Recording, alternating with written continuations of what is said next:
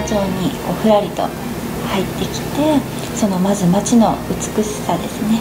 とあと自然の神々しさに感動してこちらに住まわせていただこうと思いました。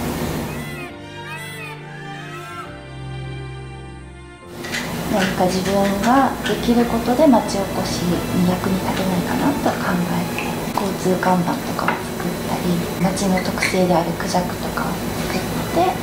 街にあふれさせたら通り過ぎる街から興味を持ってくださる街になるんじゃないかなと考えて今年に入ってアピールカートの応援隊という活動しております。